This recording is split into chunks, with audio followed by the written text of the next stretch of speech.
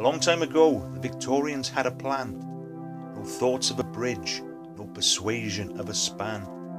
A tunnel would be bored, linking the east with the west. Under a mighty old river, it would be the ultimate test. Connecting England with Wales with a tunnel so fine as a great western railway extended their line.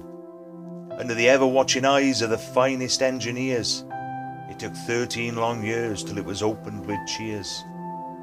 But before that opening fanfare, the project lost its course with the discovery of a spring, a fresh water source. Not to be outwitted, they refused to be shook, and a pumping station was built in a place they call Sudbrook.